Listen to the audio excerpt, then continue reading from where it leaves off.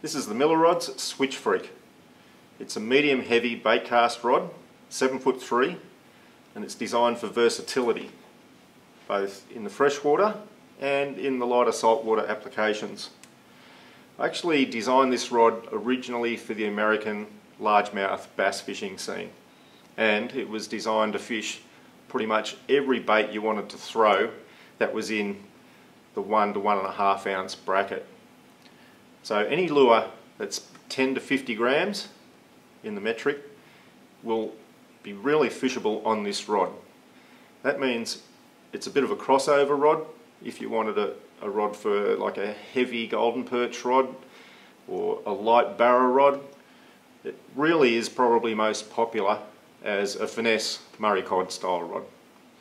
Because it can throw a large number of lures in terms of uh, techniques and hook styles, um, it really means you, you'll get a lot out of just owning one of the Switch Freak rods.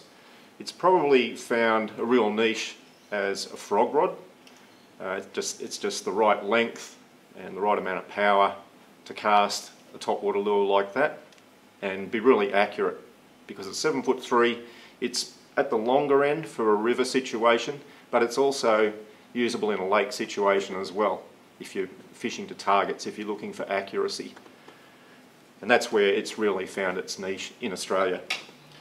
This is uh, reasonably powerful but it's also extremely sensible. It's really well balanced so for all those techniques that require uh, like a, a rod tip up type presentation or a neutral presentation it's effortless to use and of course for your tip down presentations like spinner baits and that sort of thing it just makes it super super sensitive. You can always feel what's going on with the lure whether the blades are turning properly and that sort of thing.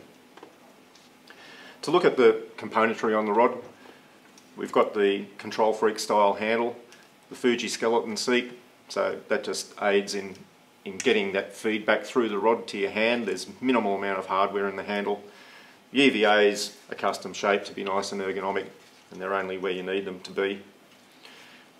I converted this rod from the American one-piece style to the detachable handle style. Just makes it a little bit easier for us in Australia to, to store and transport. And I changed the guide train over from the ultralight single foot guides that are mainly used on the American rods to the Fuji KW frame, which is the double foot frame, and it's just a little bit stronger and sturdier. Now, I like a lot of guides on these style bait cast rods because it makes the operation really smooth and it actually increases the feedback you get through the rod with more guides because each guide actually acts as a little conduit to put vibrations into the, into the blank. So this is a 7 foot 3 rod but it has 11 guides plus tip top. This 11 plus 1 multi-guide train not only keeps the line flowing smoothly but it enhances the really smooth action of this blank. The Switch Freak does have a really nice bend to it.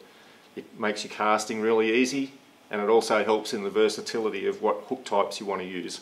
You don't want to have an, a blank action that's too aggressive when you're casting a lure that's loaded with treble hooks because it tends to jerk pretty hard on that hook hold and a lot of treble hooks don't have a good hook hold to start with. So a super smooth action will really aid in converting your hookups to landings and like I said, you can throw a bunch of different lures on this rod and it'll handle them all really well. So that's the Switch Freak. You can check it out at your local retailer.